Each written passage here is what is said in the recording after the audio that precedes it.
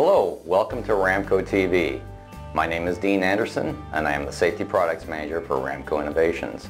Today we would like to present the Omron D4 SLN locking safety door switch. The D4 SLN is a compact mechanical interlock switch that is available in either a mechanical locking or solenoid locking version. Let's take a look.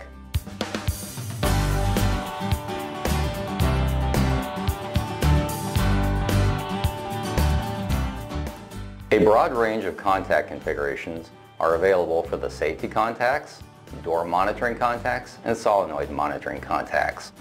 A variety of operation keys are available in straight, bent, or pivoting versions to accommodate the door geometry for your application. The D4 SLN is designed to reduce the installation time for both the mechanical mounting and electrical hookup time. Mounting time is reduced because the switch body is designed to allow the entire switch body, including the operation key engagement slot, to be rotated in 90 degree increments without removing the head of the switch from the body. This is accomplished with two sets of perpendicular mounting holes which allow the switch to be mounted to any side of the switch body. Electrical installation is reduced by providing a removable terminal block that can be pre-wired separately from the switch body. After wiring the control cable to the removable terminal block, the terminal block and cable assembly can be plugged into the switch body for a quick connection. Alternatively, a pre-wired factory connector and cable assembly is available that can be plugged directly into the switch, thereby eliminating the need to terminate the wires at the switch completely. An optional slide key assembly is also available for the D4 SLN. This assembly provides a mechanical guide for the operation key on lightweight door applications. The slide key mechanism can be easily mounted to aluminum extruded profiles.